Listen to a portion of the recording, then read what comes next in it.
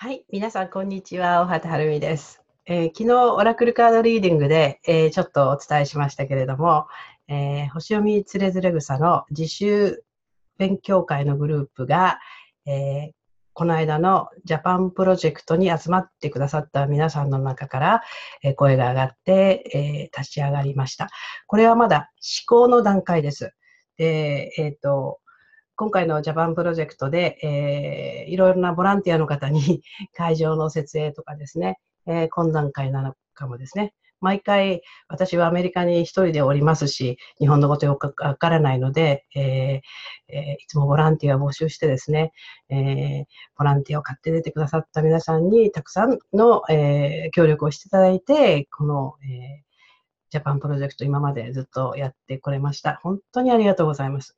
で、今回はまあ3日間ということと、まあ、リス先生も3日で、その間に先生と私の個人鑑定も含んで、私の場合は通訳まで入ってるんで、もう本当1日から8日まで、まあ、あの、全く休みないしに朝から夜まで仕事で、さすがに私も疲れましたけれども、あの、ボランティアを買って出てくださった皆さんと、私の方がですね、まあ、コミュニケーション事前に取りながら、えー、私が、えー、こういう規則がありますと。この会場の場合はこういう規則があって、例えば夜7時以降は玄関を開きませんから、えー、ベルを押しても出られませんよ。そうすると7時からの金曜日の夜なんかはですね、ボランティアリーダーの方がですね、え、彼女のえ、携帯にメッセージか電話もらうと下まで迎えに行ってくださるとか、いろんなことをしてくださって、あの、本当に皆さんで手分けをしてやっていただきました。ありがとうございました。で、本当に、あの、今回そのボランティアさんをやってくださった皆さんが橋渡しをして、みんなの声として、もっと勉強したいと。まあ、さすがにね、今回のジャパンプロジェクトで学んだ内容というのは、今までの Consciousness Astrology の初級入門コースやって、去年のえー、ジャパンプロジェクトは本当に初めての日本でのマリ先生のプロジェクトだったので、まあ、触りのところでどうやって読んでいくかというデモンストレーションしただけだったんですけど、今回それを具体的にどう読んでいくかというのを、皆さんが初級コースまで進んだことを前提に教えてくださって、もうたくさんの方が、あの、ワークショップ、毎日毎日たくさんの涙を流しながら、あの、本当に深い知恵に感激されて、もっと学びたい、もっとやりたいという気持ちがとても高まった時でした。で、その声を受けてくださってですね、ボランティアの方が橋渡しで先生、自習、えー、勉強会のグループを立ち上げたいんですけど、いいですか？と。で、あの、じゃあ、わかりましたと。えー、まず皆さんで自主的にやってみるというのであれば応援しますから、ただしちょっとルールを決めてやってみましょうね、ということをお伝えして、それでは私は、あの、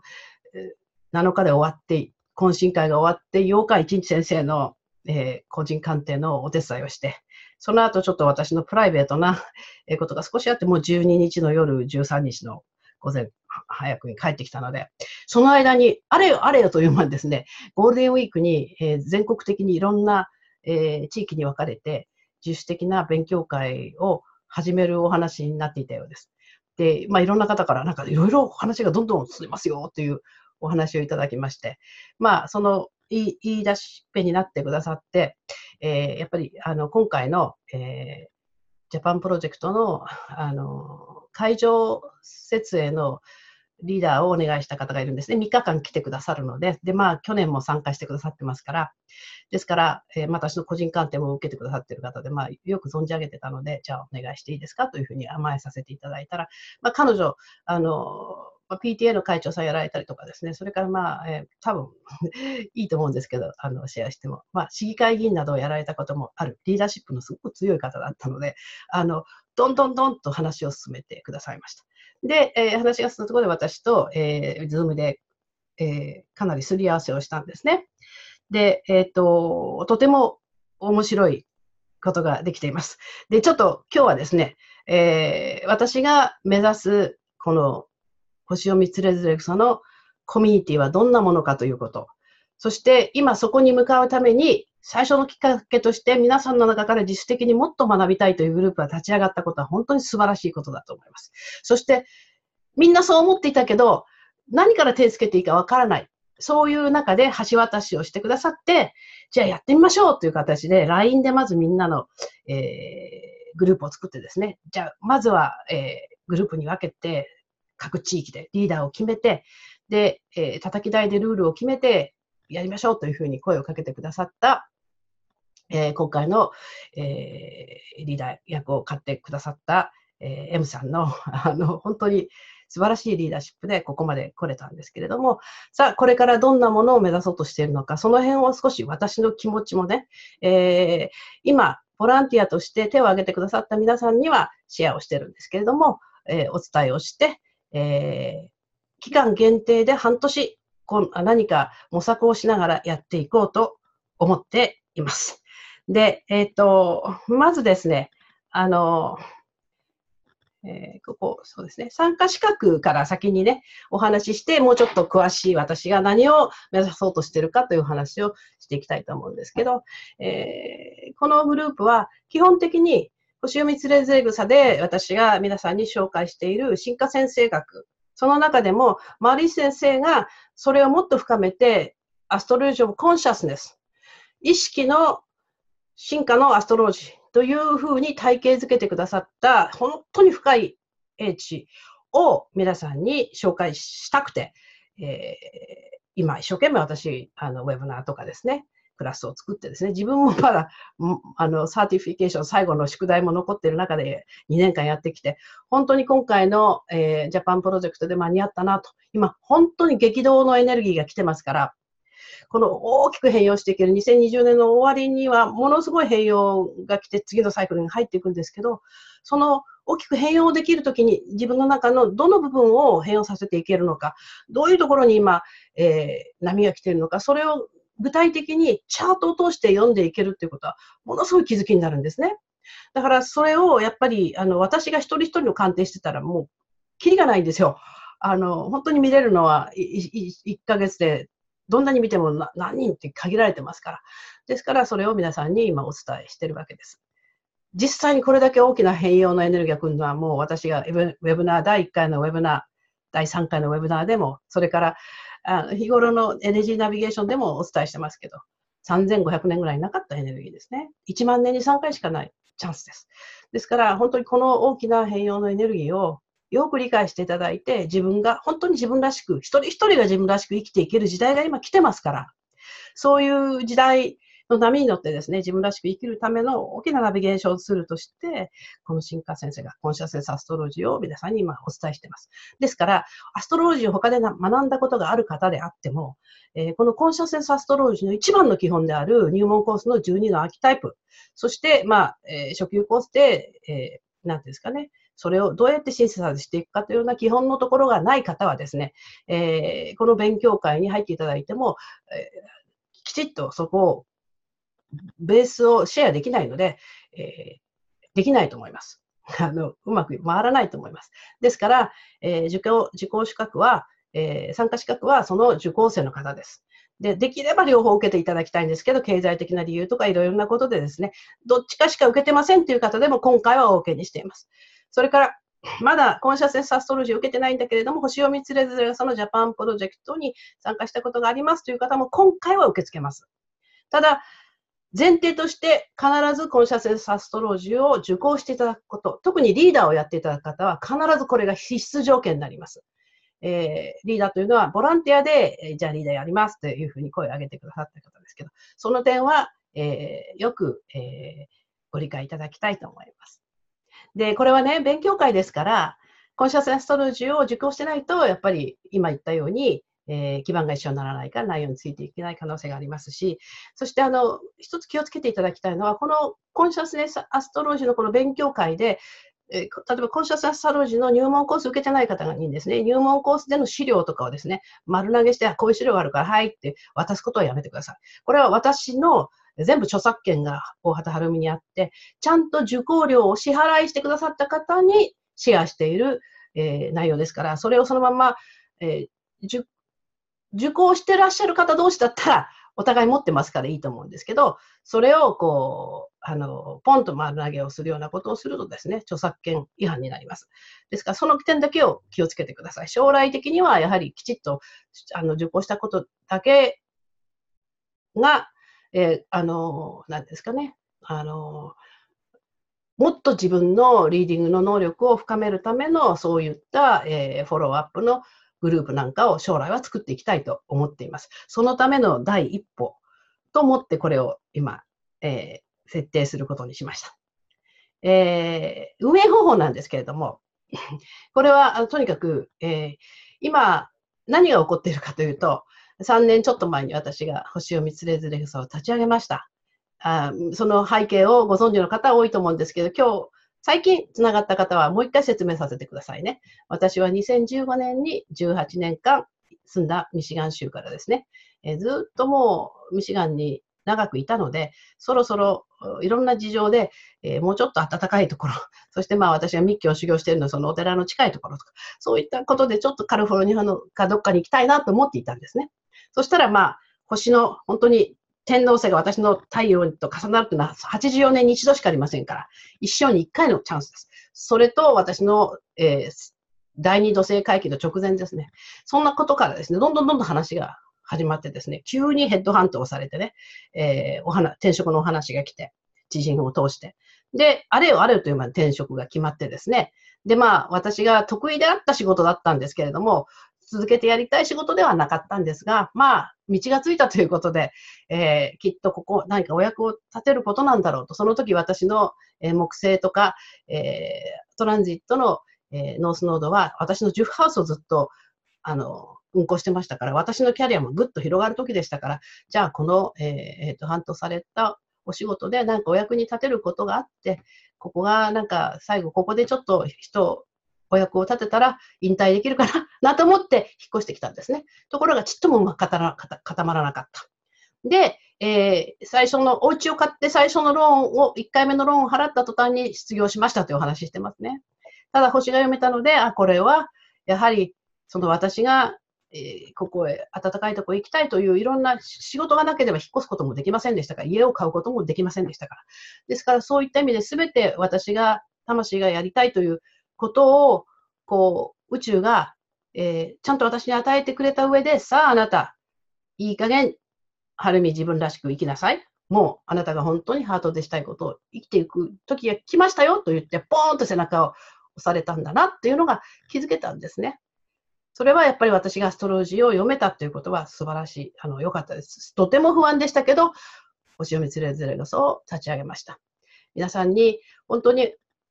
アストロジーというのは、決してただの星占いとかね、なんか運がいいとか悪いとかね、そんなことを相性がいいとか悪いとか、そういうだけじゃない、もっと深い学問なんだよ。そして、本当に素晴らしい自分をよく築いていける人生のナビゲーションツールなんだよということを皆さん伝えたかった。でやればやるほど、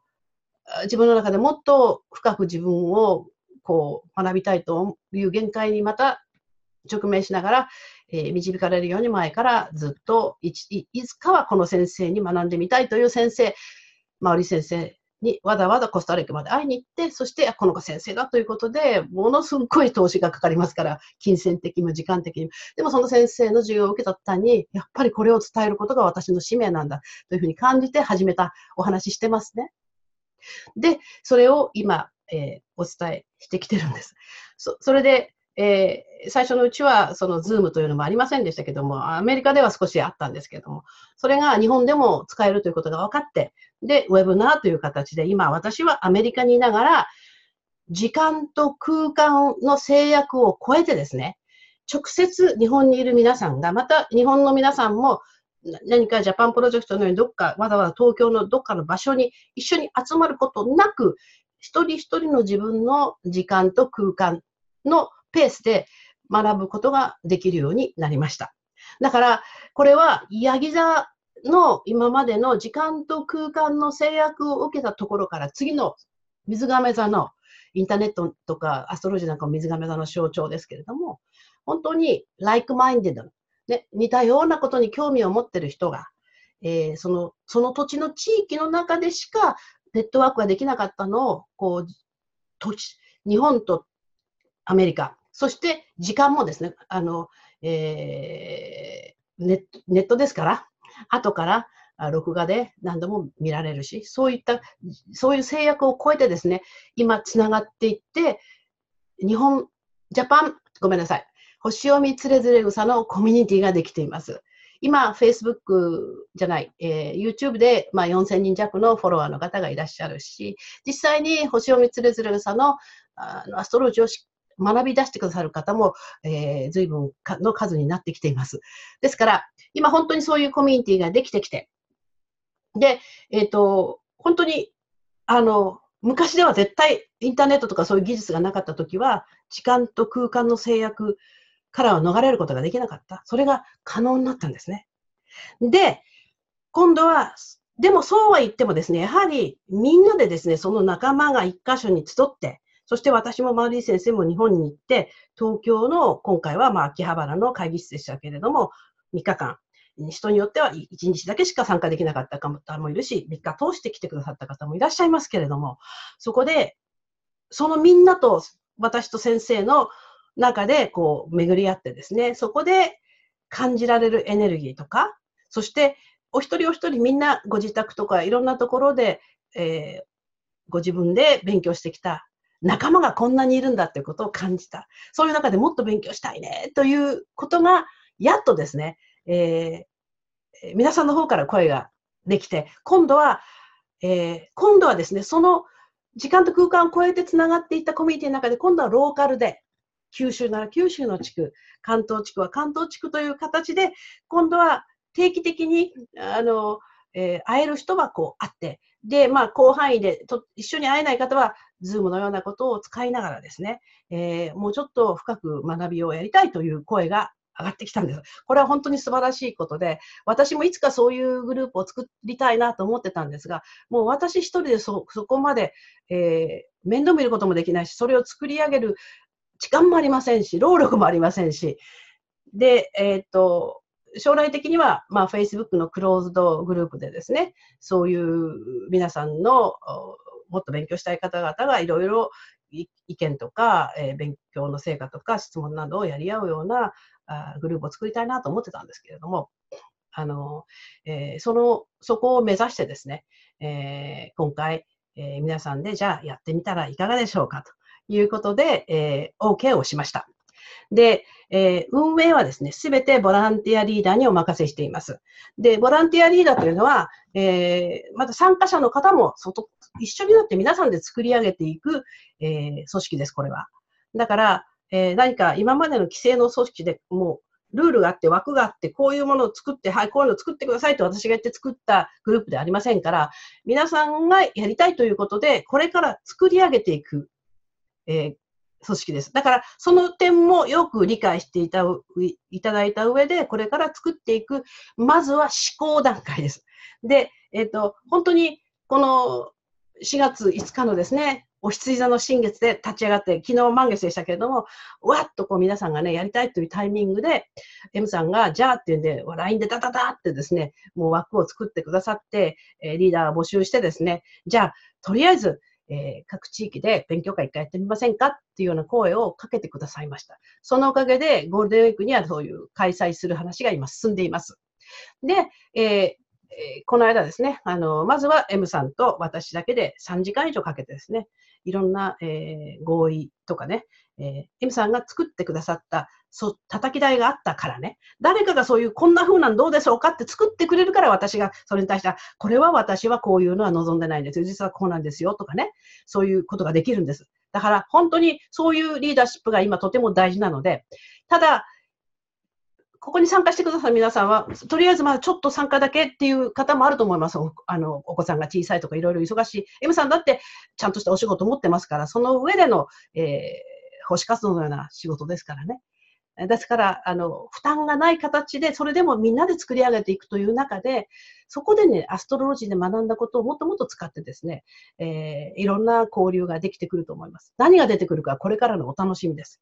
ですから、えっ、ー、と、将来的には、あ私が考えているのは、まあ、来年ぐらいからだかなと思ってるんですけど、えー、ある程度ちょっと毎月、それがいくらになるかはちょっとまだはっきり決めてませんけれども、会費をいただいて、会費の中で、えー、クローズグループですね。今、Facebook とか YouTube は一般公開してますけど、そうではなくて、勉強した人たちだけが入れるグループ。そこで、あの、勉強した人たちのためだけのもうちょっとハイレベルの、えー、質問から入って何か、じゃあ今度はこれを私が回答しましょうとか、今、個人的にいろいろ、あの、ご質問いただくんですけど、えー、ちょっと、あの、ご質問だけじゃなくて、今、こうなんですって、あの、まあ、いろいろ、あの、緊急報告でメッセージいただくのはありがたいんですけど、えー、あまりにも長いメッセージ、わーっと書いてこられると、私もう読む時間がないんですね、本当に。で、あの、質問もいろいろがあると、やっぱりそういうことをお答えしてあげたい気持ちもたくさんあるんですが、とても一つ一つに今回答できるだけのもう余力がなくなってきています。ですから、たくさん皆さんがそういう中で共通の事項があって、ここをもうちょっと掘り下げた方がいいななんていうことがあれば、それを中心に、また地域のいろんなグループで、えー、話し合って、じゃあここを聞こうという形で私がそこそこをフォーカスして、まあ、ズームみたいなところでつながってですね、勉強、そのフォローができるような仕組みができると思うんですね。で、まあ、それをしていくためにやっぱり、もう星読みつれづれがその、なんていうんですかね、ウェビナーにしてもですね、ジャパンプロジェクトにしてもですね、ま、ジャパンプロジェクトは私4ヶ月ですね、本当に裏方の事務作業たくさんあるんですよ。場所を借りたりとかですね。一人一人ボランティアの方との連絡を取ったりとかですね。あの、申し込み用紙、金額も3種類ぐらい作ってるでしょ？それを全部一つ一つ、そしてペーパルで支払っていただいた方の、えー、支払い状況をちゃんと確認してとかね。あの半端じゃない裏方の事務作業があります。で、あのもう私一人ではこれ以上絶対できない状況まで来てますので、えー、これからはどなたか正式に本当にたくさんのお給料は支払えないんですけれども、ちゃんとお給料を支払ってですね、えー、ただ、アメリカにいるので、アメリカで働いていただくわけにはいかないんですね。アメリカで労働、あの、なんていうんですか、あの、働く資格がなければ、働けませんから。ですから日本に行って、その、なんていう外注としてですね、えー、なんかやっていただける方でもいいと思うんですけど、特にやっぱり IT がちゃんとできる方が本当は嬉しいんですけど、そして、その、なおかつちゃんと星読みつれずれそのコンシャスネス掃除が分かっている方、そ、そう、まあ理想は高いんですけど、そういった方、どなたかね、えー、まずちゃんとお金を払えるようになりたいと思ってるんですね。そのためには、ある程度会費でですね、毎月決まった額がきちっと入ってくるような安定をしないとですね、えー、私の生活も大変なんですけど、どなたかをちゃんとお手伝いしていただくには、そういった、えー、こともかかってくるんですね。ですから、まあ、そういったものを作っていきたいなというのが、今の私の希望です。で、そのためには、やっぱり一番いい形はどんなんだろうっていうのは私の中でのアイデアはありますけど、実際に皆さんがこう動いていただいて、やってみて初めて気づくことがいっぱいあるので、今回自習グループとして、この星読みつれずる草の、えー、勉強会のグループが立ち上がりました。えー、名前まで付けていただいたんですね。星読みコミュニティ、星読みつれずる草コミュニティジャパンという名前で、短縮名が星込みジャパンというそうです。本当にありがとう。ね、言いやすくていいですよね。星読みつれずれ草は言いにくいですからね。私もいつも自分で言ってますけど、言いにくいな。星込みジャパンね。で、これはですから、そういう将来何かもうちょっとこのコミュニティが広がっていったときに、一人一人がより深くアストロジーを体得していただく、こう、毎日の生活の中でアストロジーを使っていく訓練の場。ただ勉強するだけじゃなくて、その人とのやりとりを通すの中で、えー、チャートを使うことで、ただ、そういうものがなかったらいろんな人が集まってもですね、感情的に好きだとか嫌いとか、こういうお世話かりするのは嫌とかね、そういうふうになっちゃうことが多いんですね。だけど、えー、そういう感情が出てきた時も、それがいい悪いではなくて、どうしてそういう感情出てるんだろう？って自分の中で受け取った時に自分のチャートを見た時に、どこにそういうエネルギーあるか見ていくことで、自分と向き合うことができます。そして、そう感じてしまった相手のチャートを見れば、その方のチャートのエネルギーもわかるんですね。そうすると結構やっぱり自分の意識が苦しい時はね、波動が低くなってきますから、低い波動になるんですよ。エネルギー苦しいからネガティブになるとすごく重たい肌になるんで、そうすると苦しい苦しいの中でいろんなことが感情的にこう感じてくると、それを投影して周りのところばっかりを責めてくるんですね、人間って。それは当然なんです。例えば、すごく体調が悪い、病気にかかってる、過労、精神的にストレスが大変とかね、それから家族の中でいろんな、なんていうかね、あの、介護とかあって疲れ切ってるとかね、金銭的にとてもなんていうか、あの破産をしてしまって苦しいなんていう時は先が見えない分、ぐっと追い詰められてる分ね、なかなか突破口見えない中で苦しいことがあると、わっとぶつかってしまったり、え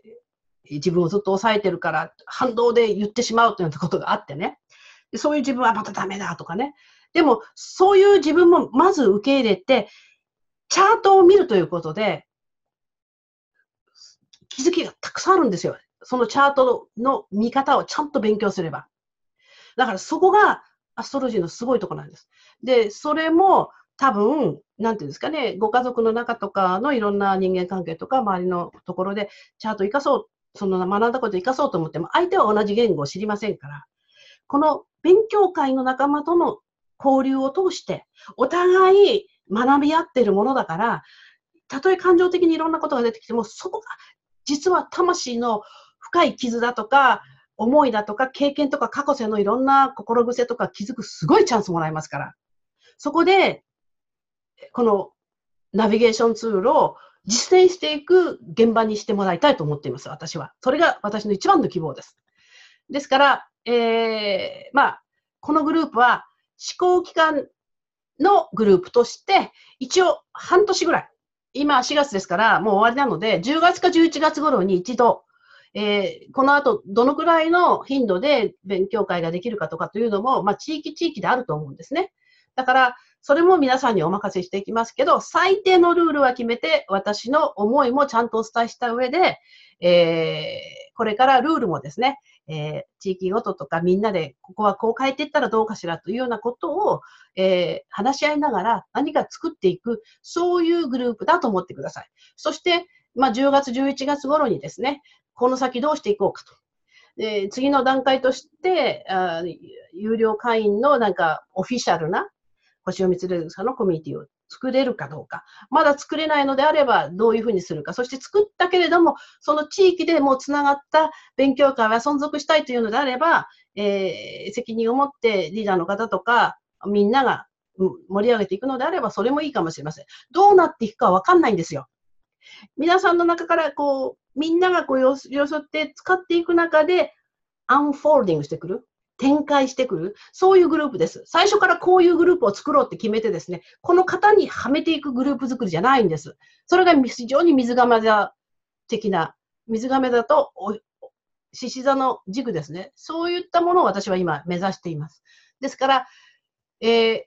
本当に最低のルールは今私の方からこれをお願いしますというのを申し上げますけれども、それ以外は、まあ、いくつかリーダーさんがとりあえずこういう形でというのを作ってくださってますけど、それも、えー、何かご意見があれば、どんどん皆さんで、えー、やっていただきたいと思います。えー、規約の遵守はですね、まずこのグループは、星読みつれずれせでの学びですから、え、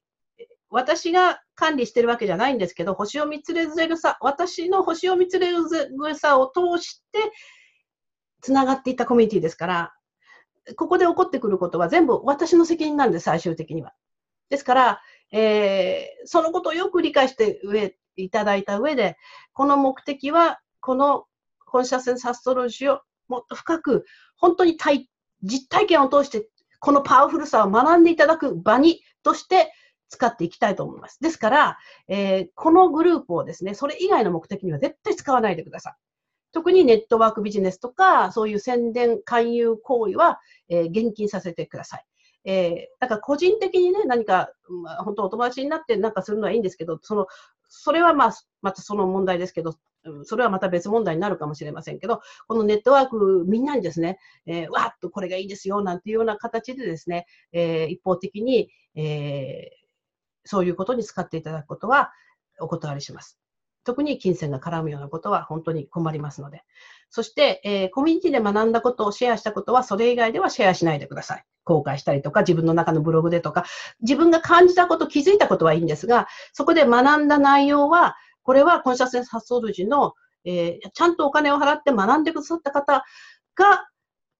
えー、シェアしてますから、え、そこは私やマウリ先生の、え、著作権の問題もありますから、それはえー、シェアしないでくださいね。それから、えー、さっきも言ったように好きだ、嫌いだとか、中傷、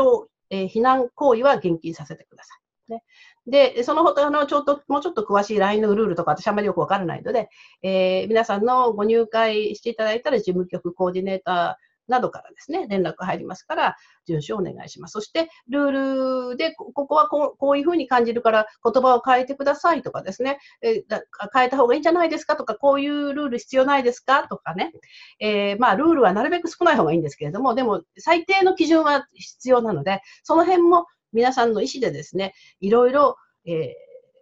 Consciousness Astrology と目に見える形のチャートがありますから、そこをうまく活用して、えー、ただ感情で好きとか嫌いとかで流れずに、えー、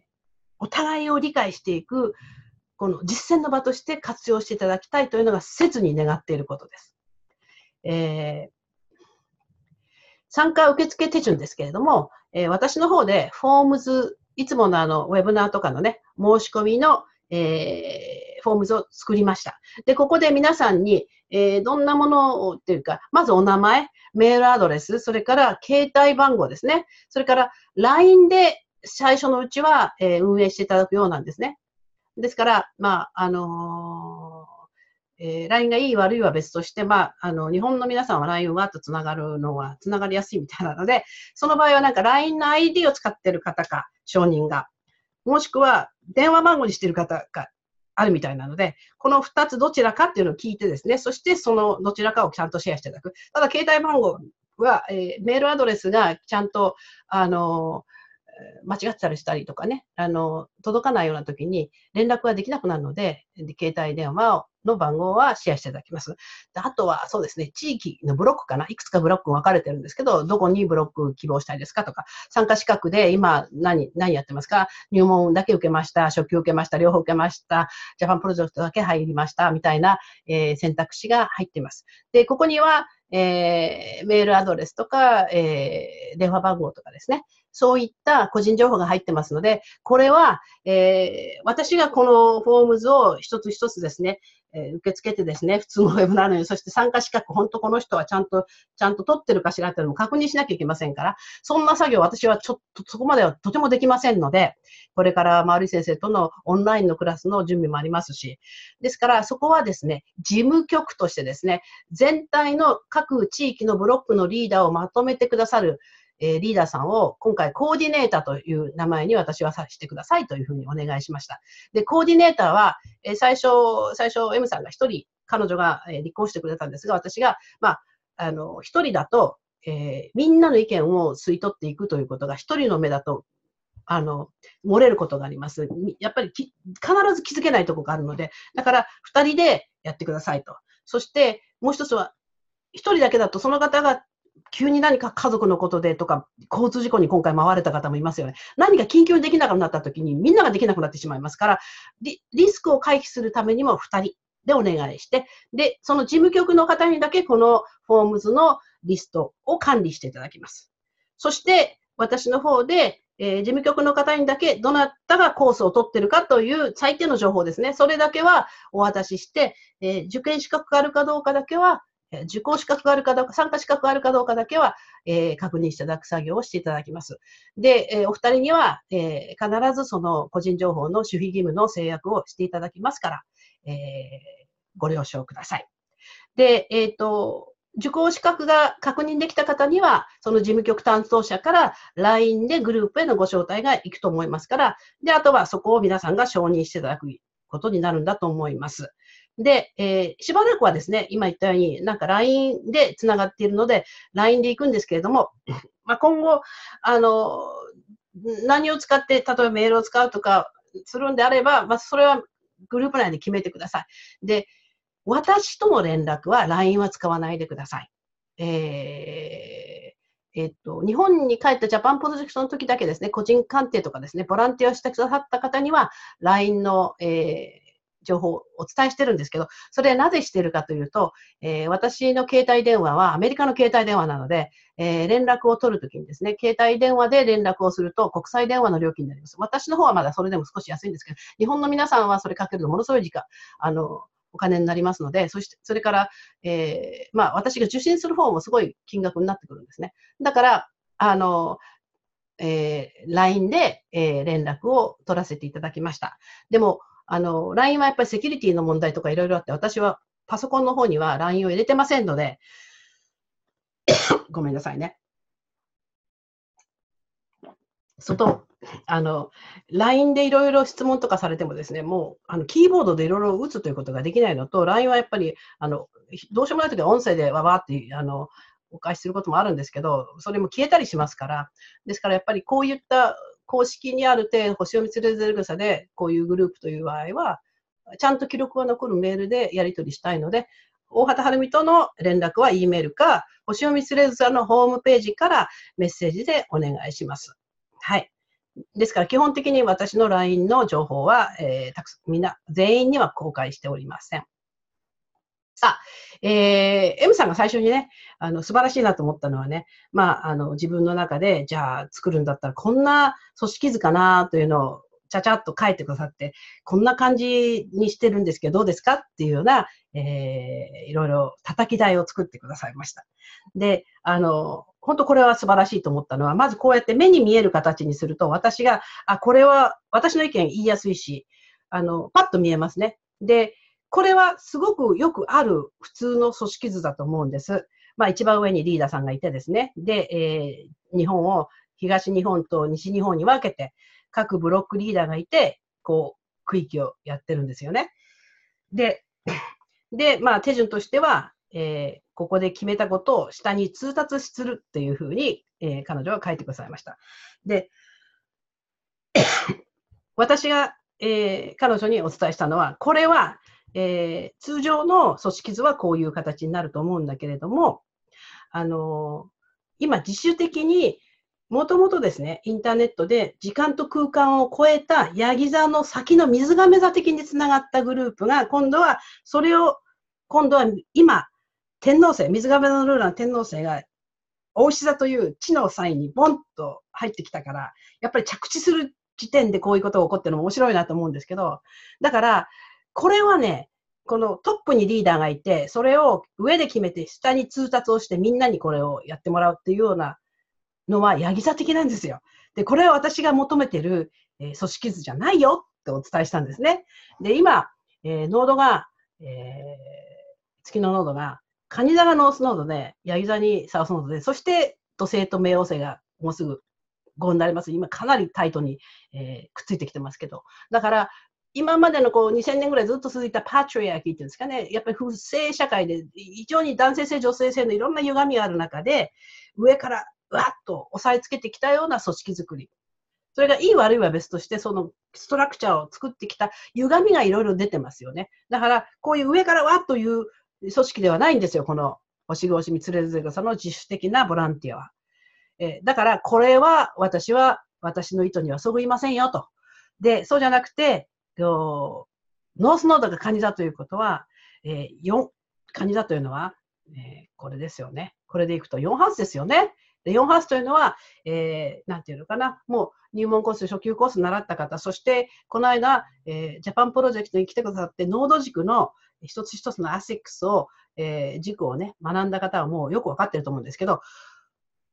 ハウス、ヤギ座土星が象徴している何か仕組みがあって、権威があって、その上の上司みたいなもんですね。そこからダンと下に下ろすのではなくて、その反対側にある4ハウスはプライベートなところで、非常にあのお母さんのような役割で、サポートシステムなんですよ。IC4 ハウス。ね。ここは、このチャートの一番底にありますね。で、サポートっていうのは下からこう支えるという意味です。だから、えー、ノースノードが今、カニ座にあるということは、この、これはですね、皆さんの役割は、リーダーの役割は、上からこうしなさいってやるんではなくて、下から支えて、みんなの声を、よく組み上げて、そしてみんなの声をまとめていくためのサポートをこうする役割のようなリーダーを私は期待してますということはお伝えしました。で、それができたのは、M さんがこの、これを作ってくれた方なんですね。で、こうやって図式をするということはすごく大事なんです。見える化するというのは。で、アストロロジーがすごいのもそこなんですよ。チャートがあるでしょ。そのチャートの中に、私のノードは何ハウスと何ハウス。で、どんなサインっていうだけで、自分の魂が今何を学んでるの、どこを学ぼうとしてるのか。で、星がどこにか、それが見えてきて、もう、たくさんの人がね、今回のジャパンプロジェクトに来て、たくさん涙流したね。自分のことがだんだん気づけてきて、わあ、こう皮がむけるように。そこなんですよ。だから、えー、さっきちょっと言いましたけど、好きとか嫌いとかそういう感情も出てきていいんです。それは、そそういう経験をしてるから。で、自分をこう表現するって時に誰がこうだからって責めてる自分がいた時に感情的になって。それをまずはそのまんまアクセプトしてください。だけど、それでこの人は嫌いだから、でも勉強はしたいからやらせてくださいというのは、それは受けられません。そういう態度ではなくて、自分の中のそういう、自分の中の何か問題を投影してるってことに気づいたときに、意識が広がったときに、そういう自分がどこにあるのかなっていうのでチャートを見る。そして嫌だと思った相手の中にあるものが、相手のチャートを見たときに、その人のエネルギーの特性が見る。例えばね、あの、とても上座が強い人がね、で、ヤギ座が強い人から見ると、ヤギ座は仕組みですから、きちっとする。で、上座はほわーんとしてますから、そうすると、あの、なんで、私ばっかりお世話役して、なんでこう言ってってなっちゃうんですよ。でも、あの、上座の人は上座の人で、決してそう相手にこう目をかけて、えー、するんじゃなくて、一生懸命相手のことを思ってやろうとしてるけど、その上座の低い波動でいくとふわふわんでしてた。で、その人がですね、あ、自分のノースノートは第一ハウスで、えー、ヤギ座にあるんだ。もっとヤギ座のことをちゃんと自分の権威を持っていく必要があるんだなってことを気づいてくるんですね。そこでね、会話ができるんです。好きとか嫌いとか嫌だとかそういうのを超えてほしいんです。好きとか嫌いって感じることは感じてください。そこには必ず自分の中のどうして好きなのか、どうして嫌いなのかという自分の中の何かあるんです。過去世の。そこを気づいていくのが Consciousness Astrology の素晴らしいところです。そこがお約束していただかないと、えー、そういったことだけでこういうグループができてくると、またいろんなことが起こってきます。で、いわゆるなんていうんですかね、あの、ママ友とかね、いろいろあるじゃないですか。好きだ、嫌いだ、気が合う、合わないで、誰が、そういったグループには絶対したくないんです。で、必ずそういうことが起こってきますから、そういうことが自分の中で嫌だなとか、うんって思った時こそね、 Conscious Astrology をちゃんとチャートを使って学ぶすごいチャンスもらってるんですよ。そこを、うっ、やりますというふうに思った方だけ参加してください。そうじゃないと、結局参加しても何か人のせいにしたり、えこれは自分に合わないわって言ってですね、自分の気づきないまま、えー、何か、ま、なんですかね、学び、チャンスを終わらしたまま、パワフルなアストロジーも使えないままになります。ですから、そういう共通言語のベースを学んでるからこそね、そういう今までの人間関係だったら乗り越えられなかった枠も乗り越えられるんですね。だから、えー、M さんがこれを作ってくれたのは素晴らしいことだなと思いますし、それは皆さん伝えたかったのはチャートを見るってことすごいんですよ。うん。で、私は、まあね、あの、カニ座的なの下からのサポートだから、逆に言うとこう、逆三角形みたいな形ってこういう感じですよね。でもこうすると今度はリーダーさんがみんな支える。これも苦しいですよね。で、ほら、六芒星があったじゃないですか。ね、私のウェブナー大使館第3ウェブナーとかなんかあったと思うんですけど、やっぱり上上にあるがごとく下にもって、この、これ両方組み合わせて、実は4ハウスも5ハウスも絶対必要なんですよね。これね。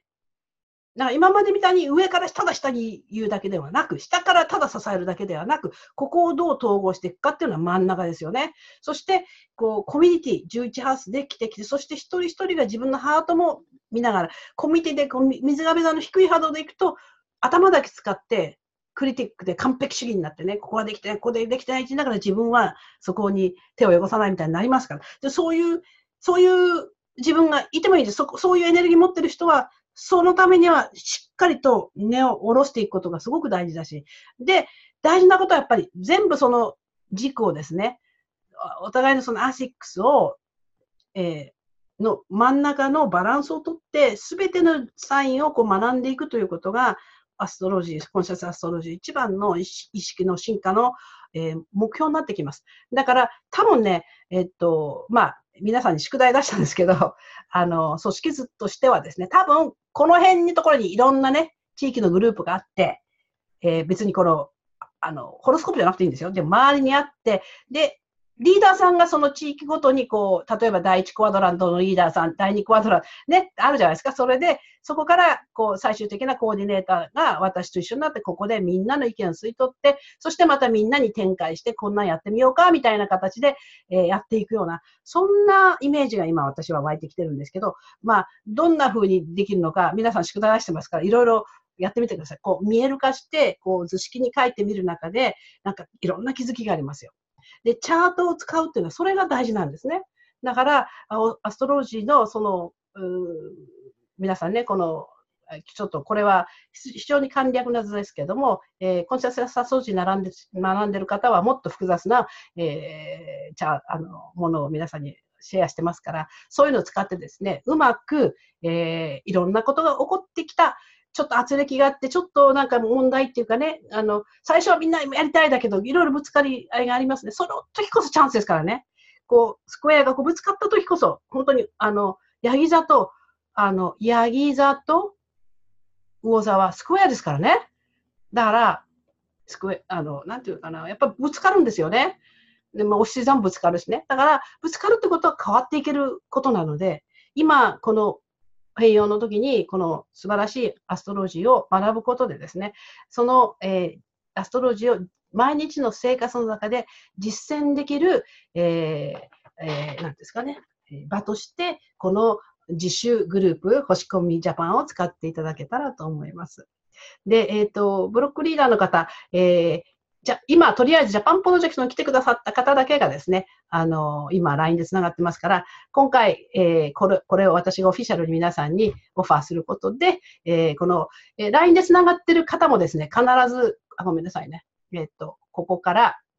え申し込みをしてください。ええこれからいろんなことをわっと皆さんにこうシェアしていくような時はですね、えー、メールで皆さんにシェアするような形になってくると思うんですね。LINE では残らないから。だからそういった時もですね、えー、管理が必要になってきますから、やっぱり、えー、M さんと相談して、じゃあフォームズ私が作ってあげるから、で、その管理をあなたたちに任せるからやってちょうだい。で、そうすると、資格は確認できましたとか、それから、えー、何かした記録を残していくとか、いろんなことに使っていけますから、えー、そそれ、それをやるのが事務局です。そしてこのお二人にコーディネーターをおあのお願いしています。で、えー、ちょっとさっきの図でやると、だから、ここのリーダー一人じゃないですね。そのお二人が、コーディネーターですからね、みんなの、えー、まとめ役をしていただきます。そして、各ブロックのリーダーが、まあ、東、西に分かれても何でもいいんです。ここは皆さんで。で、そのリーダーさんも何度も言いますけど、上から下にこうしなさいっていうリーダーではなくて、みんなの意見を吸い上げていく。サポート役としてやりますという方。皆さんの土台になってそれも喜びでそれができる方。そういう方を私は、えー、ぜひ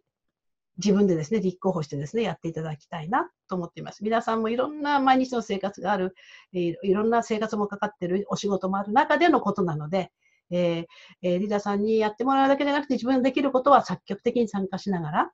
で、あの、何かですね、あ、ここはできてない、あそこはできてない、文句だけ言うような方はやめてください。ここがちょっと苦しいところは、ここがちょっと困ることなんだけど、えー、何かないでしょうかとか、こういうふうにはできないでしょうかとか、そういうご自分の意見をちゃんと言い合ってですね、それをこう、本当に将来どんなコミュニティができて、どんなことがこれを、このグループを通してできるのかって、私も全くわかんないんです。でも今こういう波が来てて、その波をパンと、あの、すごいリーダーシップで叩き台を作ってくれて、とりあえずやってみようという勉強会まで行きましたから、これは本当に M さんに私は心から感謝しています。そして、えー、私の意見もちゃんとお伝えしました。で、最初、エミさん、ここでね、リーダー自分で、そしてコーディネーターと事務局とディレクターというタイトルまで書いてらっしゃるので、ディレクターはちょっと違うよと。ディレクターというのは、あのー、まあ、指示をするんですね。ディレクションと方向ですから。だから皆さんこっちに来る方向ですよというふうに言うのがディレクターです。だからディレクターというのは、えー、日本語に訳すと指揮者になったりオーケストラの。それから、えー、映画監督とかですね。それからあ、例えば会社組織だったら取締役みたいになるんですよ。ってことはね、権威があって、権力もあるんです。で、上から、こっちの方向に行くんですよっていうトップダウンの時はディレクター必要ですが、この星読みつれづれさのコミュニティにディレクターはいらないって私は申し上げました。だからそこら辺も、あとね、タイトルを決めるってことはね、えー、そこには必ず責任と役割がありますから、この人の各リーダーさんはどんな役割をしましょうかっていうこともぜひグループの中でちゃんと話し合って決めていって、まずは叩き台があったからそういう話ができる。だからその最初の仕組みを作ってくださった M さんに私は本当に心から感謝をしていて、そして私の汚い意見も皆さんにお伝えしています。で、私の思いもお伝えしてます。で、また皆さんからやってみてこういうことがありますというようなこともあると思うのね。で、この半年間の間、私もできる限りの範囲で、まあ、えー、ボランティアでこのグループをサポートしていきますけど、私が関われるのは、やっぱりそのいろんな制約上があってですね、えー、一人一人にはできないんですね。だから、あの、本当に将来を見据えて、これからどんなことができるかといろんな可能性がある。あの、ディレクターとかがあるときはね、先目標があるんですよ。会社の目標とか、組織はこうと。で、この間のジャパンプロジェクトのボランティアのリーダーさんは、ある意味ディレクターだったんです。なぜかというと、もう、じゃあこれでお願いします。規則があります。そこの、えー、何ですか？あの、借りた会議室のいろんなルールがあるんですよね。なトイレは他の会話使わないようにとかね。だからそれをきちっとやってもらって、で、もう、あの、みんなも初めて会う方がやるので、誰か強力なリーダーシップで、誰、これはこうしてください。いつ集まってこれをしましょうっていうふうに言ってくださる方がいたから、本当に毎日毎日ね、いろんな問題をちょっとずつね、みんなで工夫して、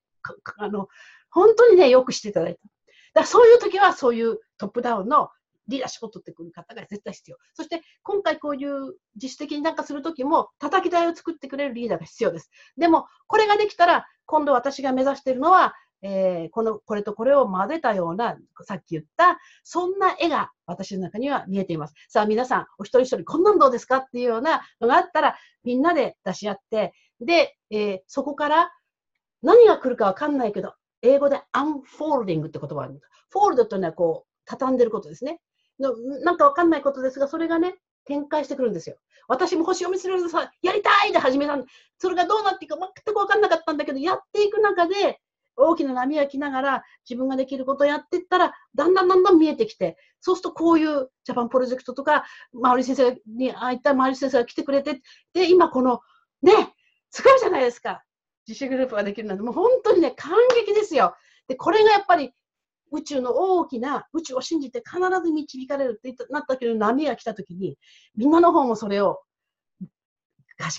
あの橋を架けてもらってじゃあ私もやってみようかっていう形でできてきてる。でこれがね人生のなんていうかなハートで生きていく時のあのワクワクできるあの一番の実践だなと思います。だからこれを皆さん一人一人のハートがワクワクする、えー、生き方の一つの学びの場としても使ってもらいたい。で、何度も言うけど、ホロスコープのチャートの中で、今のこの、この時のこのチャートとかね、をちゃんと見ていく。そ、そこでいろんなことが起こっても、いつもチャートの中で客観的に見ながら、えー、自分のことも、周りのことも見ていけるような、そこの中で気づくと大きな癒しが起こります。 Consciousness Astrology を受講した方の、えサンプルとしてね、受講生の方は使いますよって言って、月のサンプルを読んであげた方がね、8ハウスの月。で、まだいろんな事情があって、コンシャス、私の、えー、一緒に一緒のリーディングは読めなかったんだけど、先生のそういう、その、ちょっとその月の自分のエネルギーを聞いてからの変容がすごいです。自分での魂が、はっと気づいてくると、意識が本当変わるんです。で、今本当変わっていける時だから。そして少しずつ手放して、今日もまた嬉しいメッセージもらいました。随分変わってきてます。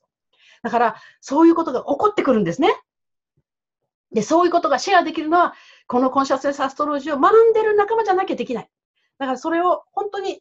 ワクワクで実践していただきたいなと。とにかくこのグループの活動を通して、えー、ちょっとつまずくようなことがあったとしても、それはもっと自分が大きくなるための何か一つの課題をいただいたっていうことで、最終的にはみんな本当に楽しいねでね、ワクワクして生きていくための仲間づくりができるんだと思って信じています。そういう気持ちで、えー、このグループを私は、えー、じゃあやってみましょうという形で、まあ、公認してくださいと言われたので、えあ6ヶ月限定で、まずはやっています。で、6ヶ月経った時にもう一回みんなと話し合ってですね、これからどうしたいのかということも踏まえた上で、またその時じゃないとわからないことがきっとあるので、さあ、6ヶ月後どうなってるかな？楽しみですね。じゃあ、今日はこれで終わりにします。長い動画になっちゃいましたね。もっと簡単にしようと思ったんですけど、でも、あの、そんな思いで、本当にみんなありがとう。で、本当にこんなことはね、私一人では絶対できないんです。ミラクルが起こってるでしょ？だから、えー、ぜひぜひ、一人でも多くの仲間集ってくれることを祈ってます。はい。じゃあ今日は、えー、これで終わりにしますね。はい。はい。どうもありがとう。あのー、え、今日、え少し例を挙げた方もね、あのえっ、と、そういうメッセージをいただいたから、それを例で挙げられるんですね。どんな自分も、どんな感情を感じたことも、それをちゃんと表現できた自分をまず受け入れましょ